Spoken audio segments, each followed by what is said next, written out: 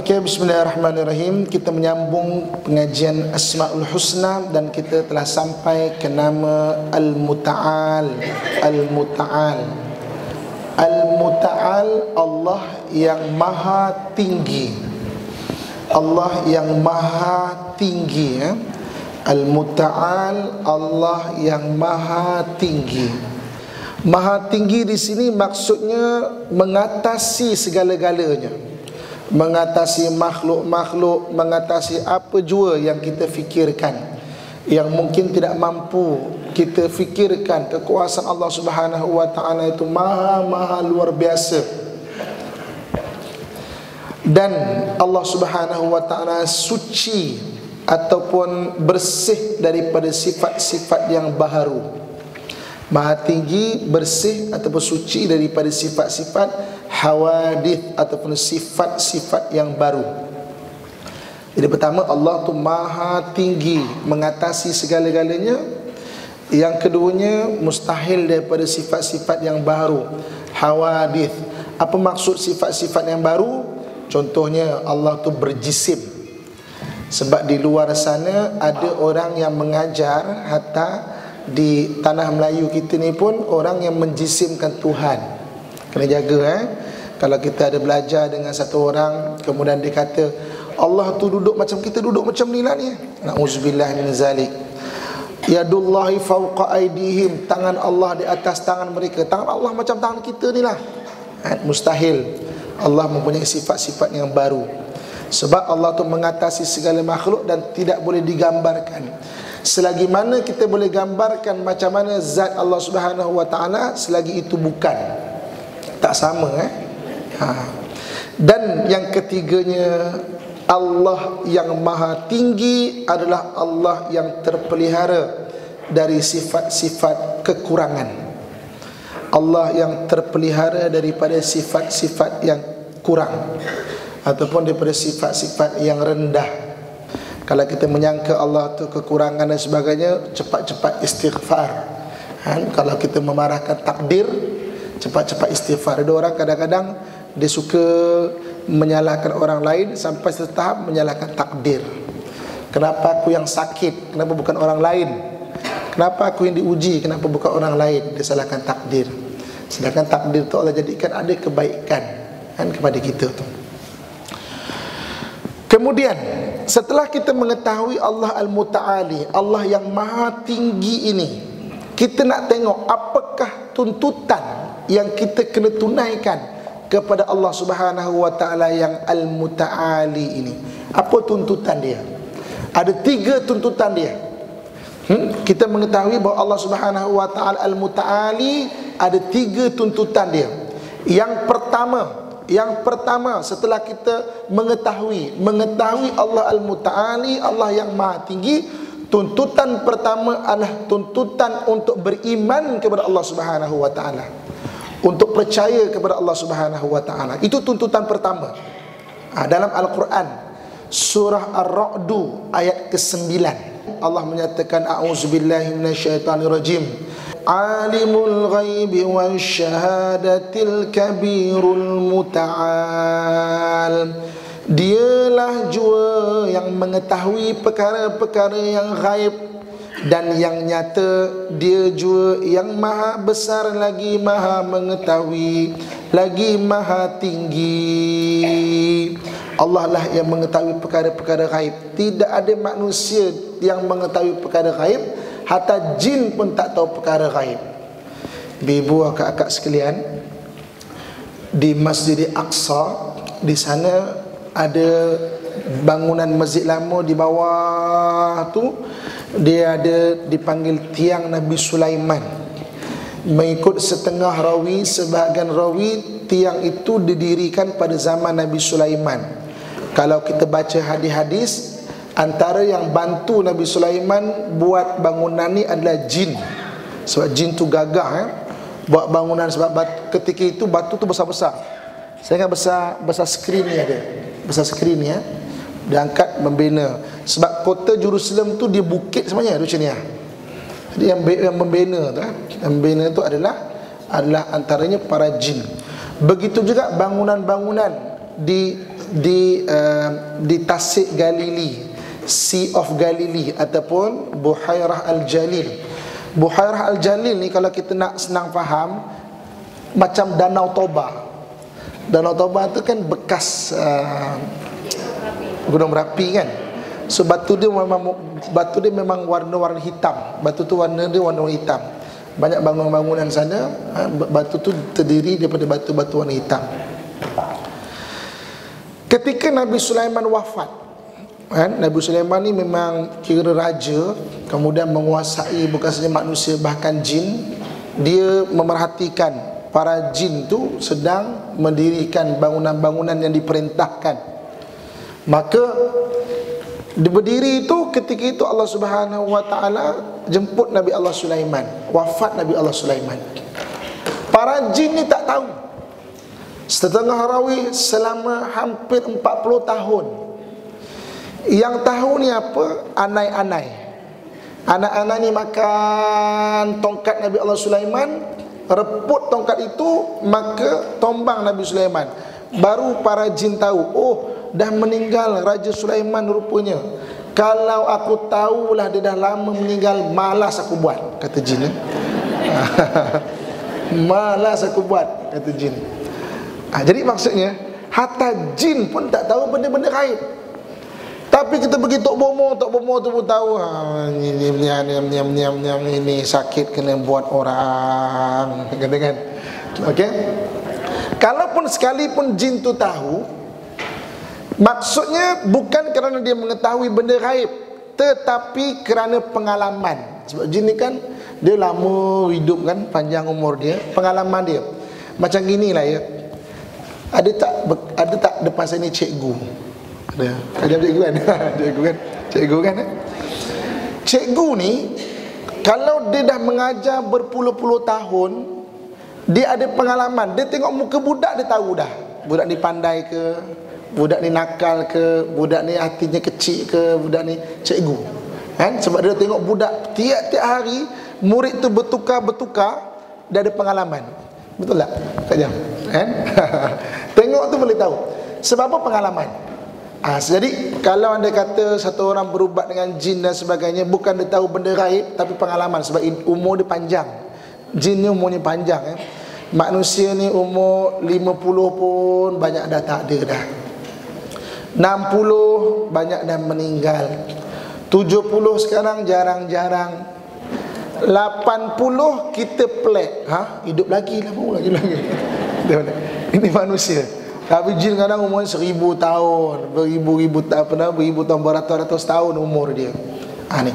Jadi yang tahu Benda-benda gaib Hanya Allah subhanahu wa ta'ala Allah sebut Alimul ghaibi wa syahadah Tuntutan pertama Allah al-muta'al Alimul ghaibi wa syahadatul kabiril muta'al Surah Ar-Ra'du ayat 9 Iaitu tuntutan percaya kepada Allah subhanahu wa ta'ala Dan beriman kepada Allah subhanahu wa ta'ala Kena percaya, kena yakin Kenapa kita kena yakin Allah Subhanahu wa taala? Kerana kita inna lillahi wa inna ilaihi rajiun. Kita datang daripada Allah dan kita akan pulang kepada Allah. Kalau kita pulang kepada Allah Subhanahu wa taala sedangkan kita punya keimanan tak ada, rugi kita. Dekat akhirat nauzubillah eh, maknanya kena seksa maka tidak diiktiraf. Itu Allah sebut. Orang-orang kafir walaupun dia buat amalan kerana tuntutan iman dia tidak penuhi maka amalannya haba'an manthura amalannya jadi sia-sia. Jadi macam debu yang berterbangan. Ha, ini tuntutan pertama kepercayaan.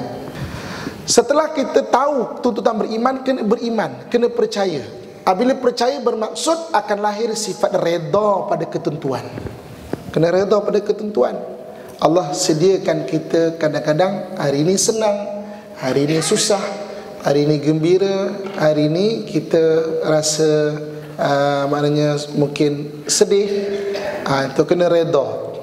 Kan maksud redha ni maknanya puas. Maknanya terima dengan ketentuan Allah Subhanahu Wa Taala. Ha ni, bukan pasrah eh. Redha bukan pasrah. Redha ni bukan hm, ikutlah malah aku nak fikir itu pasrah. Pasrah ni dia menghampiri putus asa. Redha ni mana terima satu benda tu ini ketentuan Tuhan pasti ada kebaikan dia. kan Allah Allah Subhanahu wa taala jadikan semua benda bukan kebetulan ya tak ada benda yang kebetulan semua benda yang berlaku dalam hidup kita ni adalah ketentuan Allah ada kebaikan yang Allah nak bagi baru-baru ini ada satu orang saya baru balik dari Johor. Ada program di Johor. Ada satu orang isteri pengsan dia. Ketika dia mendapat tahu suaminya kena kanser usus. Kena kanser usus. Pengsan dia kan? Maksudnya tak mula-mula macam sangat sedih lah. Sangat sedih.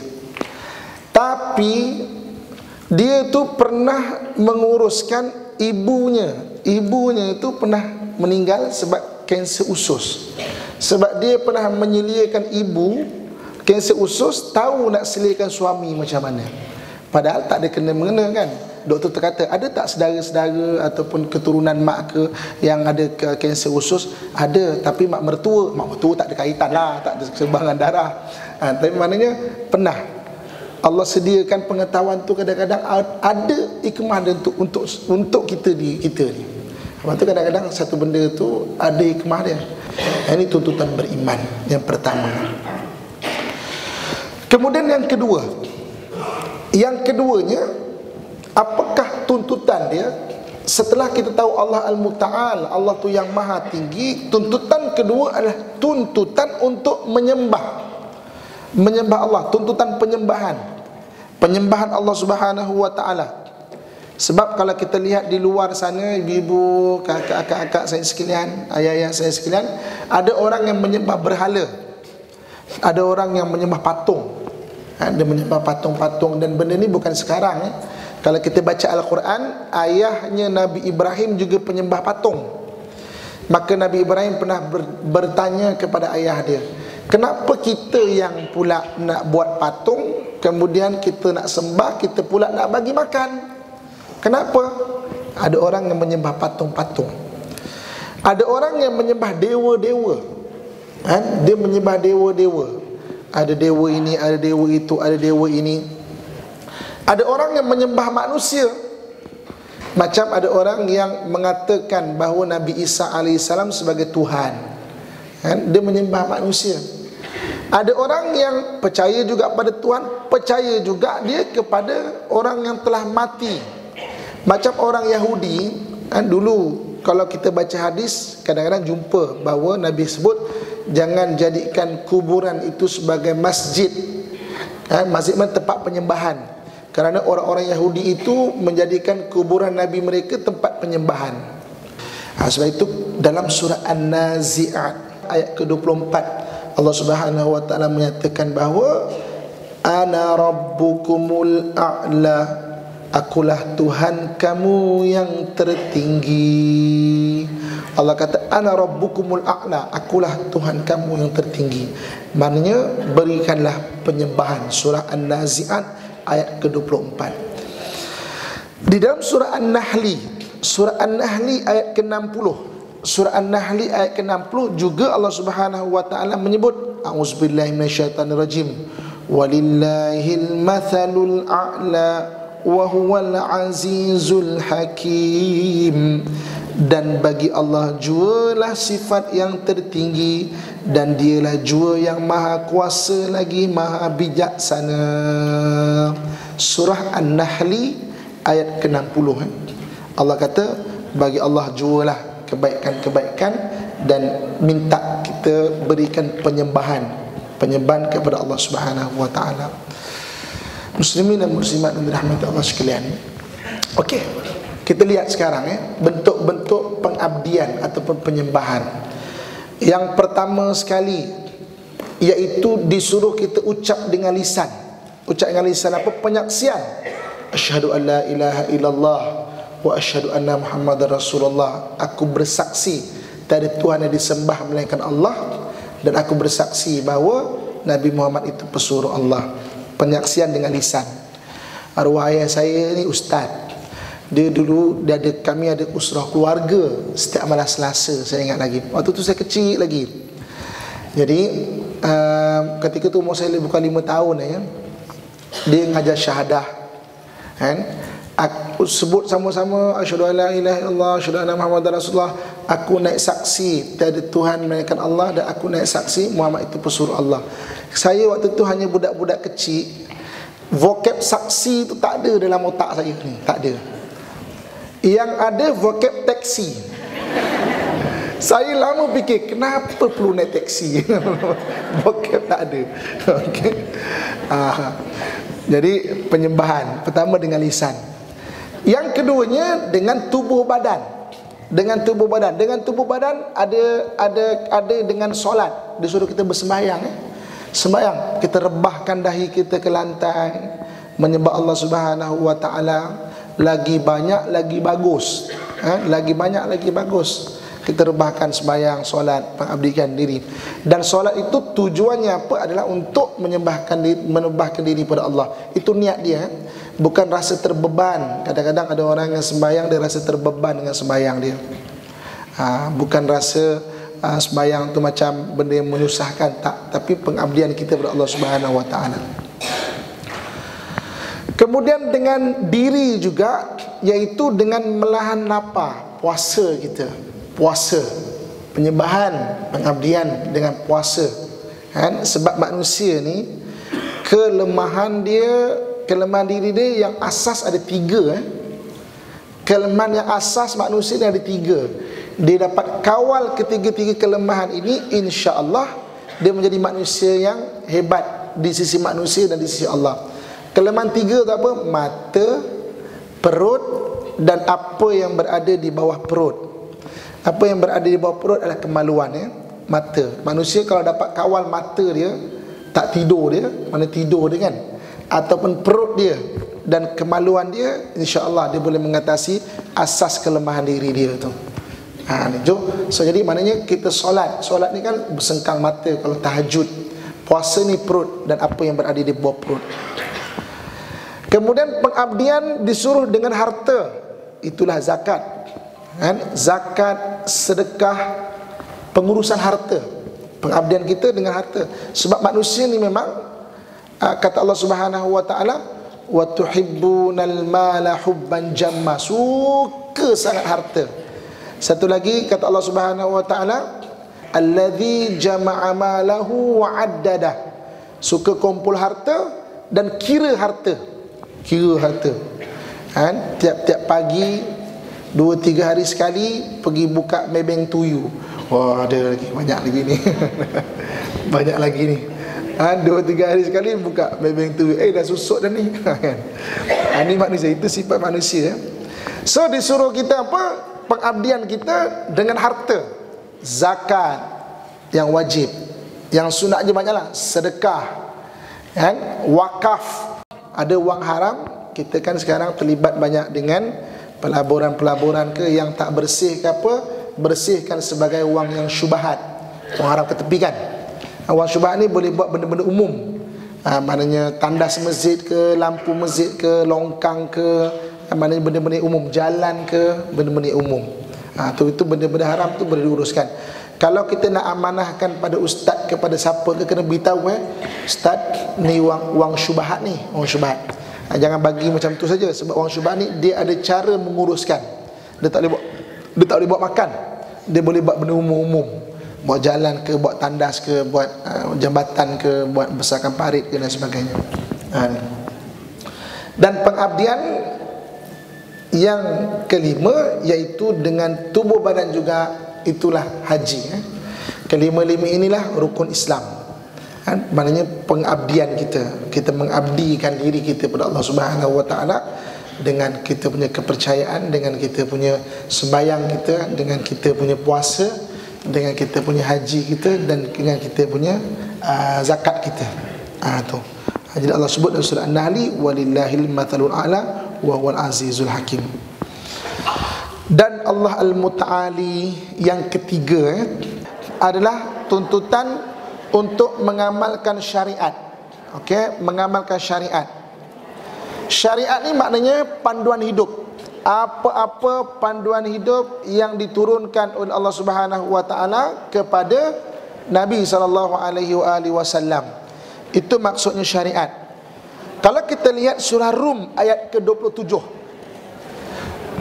Surah Rum ayat ke-27 Allah Subhanahu wa taala menyebut auzubillahi minasyaitonirrajim a'la fis samawati wal ard wa huwal azizul hakim dan baginya lah jua sifat yang tertinggi di langit dan di bumi dan dialah jua yang maha kuasa lagi amat bijaksana. Ah, okey. So jadi Allah kata Allah lah sifat yang tertinggi di langit dan di bumi. Maknanya syariat Allah Subhanahu wa taala apa-apa yang diturunkan kepada Nabi sallallahu alaihi wasallam dan Nabi ajar pada kita. Kan itu syariat. Sama ada berbentuk hukum hakam. Syariat ni hukum hakam ni dia ada lima bentuk dia eh. Ada yang berbentuk wajib. Wajib kena buat betul-betul. Syariat ada yang berbentuk ada yang berbentuk sunat. Sunat banyakkan banyakkan banyakkan banyakkan banyakkan ada yang berbentuk haram haram ni tinggalkan betul-betul yang haram. Dan yang keempat ada yang berbentuk makruh. Makruh ni perlahan-perlahan hindarkan hindarkan hindarkan. Makruh ni dia tidak mendatangkan dosa tetapi Allah benci Allah tak suka. Yang kelima ada berbentuk harus. Yang harus jadikan dia sebagai ibadah. Boleh pahala eh? Contoh harus apa? Makan. Kita makan. Makan tu harus. Makan boleh jadi ibadah kalau kita jaga tiga perkara. Benda-benda harus boleh jadi ibadah kena jaga tiga perkara. Pertama niat betul. Niat kena betul. Yang keduanya kaedah kena betul. Kaedah kena betul eh. Benda harus. Kita makan. Kita makan tu harus. Niat makan memang biasalah. Nak makan untuk kebaikan.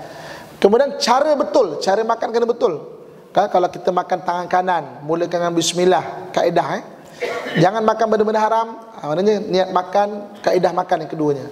Dan yang ketiga, benda-benda harus boleh jadi pahala kalaulah tidak meninggalkan benda-benda asas. Tidak meninggalkan benda-benda asas. Benda asas ni apa? Rukun iman dan rukun Islam. Kan itu benda asas. Maka benda harus boleh jadi pahala.